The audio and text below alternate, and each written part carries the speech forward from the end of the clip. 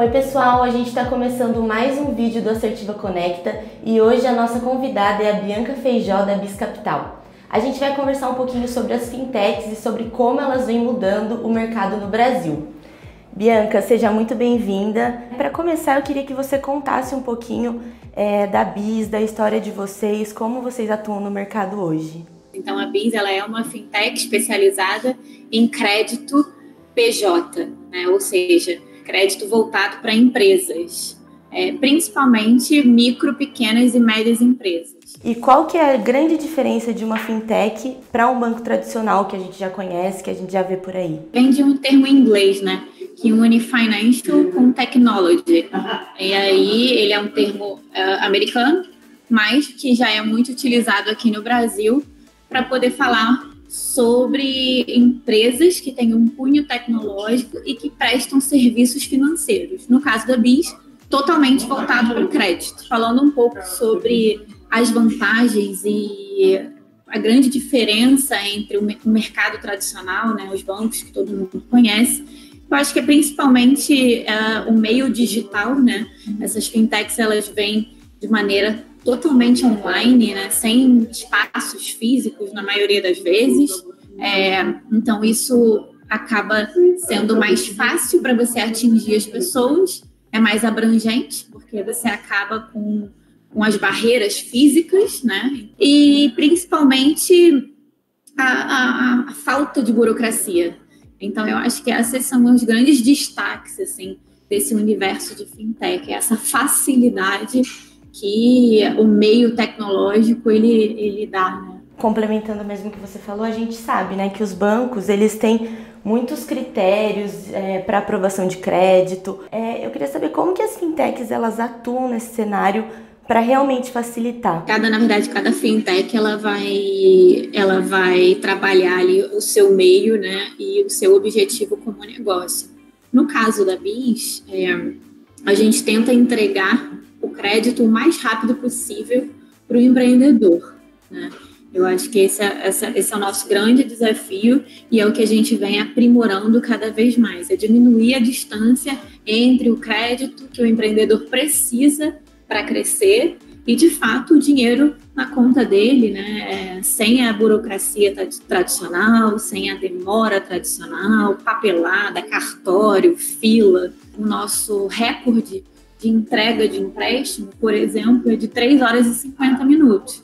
Do pedido do empréstimo feito pelo empreendedor né, no site até o dinheiro na conta da empresa dele. Então, isso acaba, na verdade, você ajudando muito é, é, e atendendo essa urgência que muitos empreendedores têm de conseguir o aporte financeiro para poder cumprir aí com que eles precisam, né? Hoje, a maioria desses empreendedores pedem nosso crédito para capital de giro.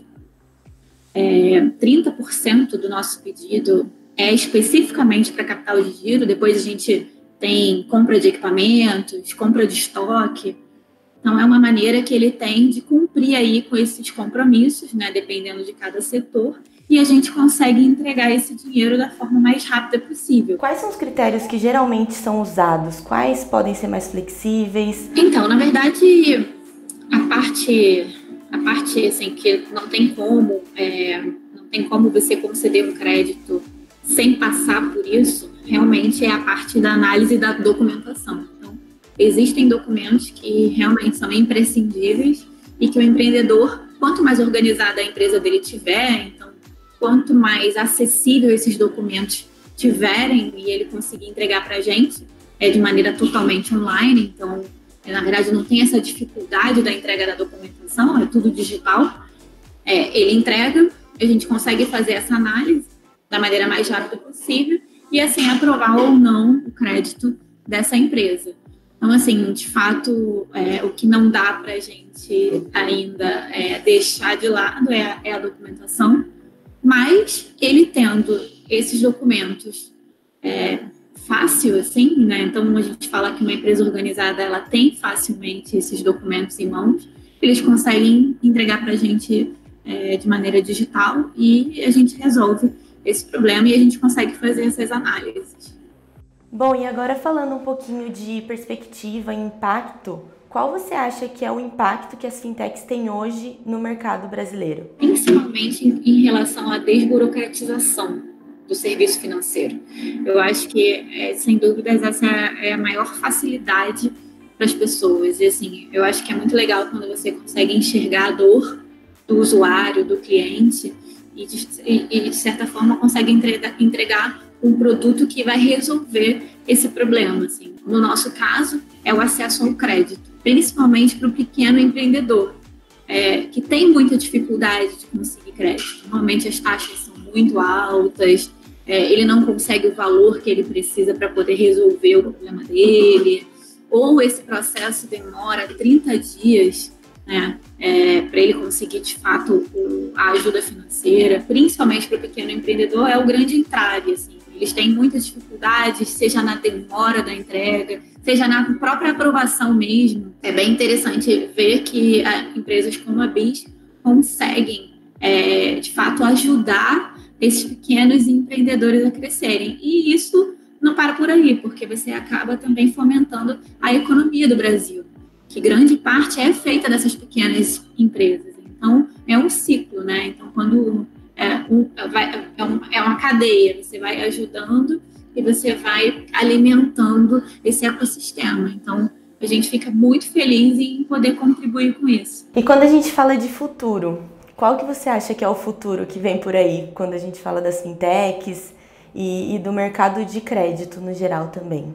A Bisa existe há três anos, né? é uma startup ainda, e a gente está crescendo junto com o empreendedor. A gente, inclusive, fala aqui que a nossa conversa é de empreendedor para empreendedor, né? Então, a gente sabe as dificuldades de uma empresa de começar a existir para de fato estar tá acelerada, escalada. Então, a gente entende que existe muito crescimento ainda para esse universo digital, principalmente no que diz respeito a, ao serviço financeiro. Então, é, é um ajudando o outro, né? A gente ajuda as, as empresas, a gente cresce ao mesmo tempo e, e as empresas e essas fintechs conseguem se estabelecer cada vez mais no mercado, né? Mesmo sendo um mercado é, feito por grandes bancos, é, essa acessibilidade para as pequenas faz com que a gente consiga ter um destaque e a gente cresça, né? Porque realmente a gente viu e a gente vê no nosso dia a dia a dor né, desse usuário e a dificuldade que ele tem de receber, de conseguir tomar crédito no Brasil. Então, é, eu acho que tem muito mercado ainda para crescer, tanto para a gente e quanto para esses pequenos empreendedores mesmo, de, de conseguirem se estabelecer nos seus mercados, é, crescer com as suas empresas. Então, é como eu disse, né, a gente vai alimentando todo um ecossistema e a gente fica muito feliz por poder contribuir com isso. Bom, Bianca, muito obrigada pelo papo de hoje. Foi muito legal a gente poder conhecer um pouquinho mais das fintechs, um pouquinho de como vocês vêm realmente transformando o mercado e mudando um monte de coisa por aí. A gente que agradece, fica muito feliz em poder falar um pouquinho é, desse crescimento, dessa transformação, de como a gente quer de fato impactar positivamente a vida das pessoas e dos empreendedores brasileiros. E você que está assistindo esse vídeo, se gostou do conteúdo, não esquece de deixar seu like, de se inscrever no canal e se tiver qualquer dúvida sobre o assunto, pode deixar aqui embaixo nos comentários que a gente vai responder tudo. Até mais!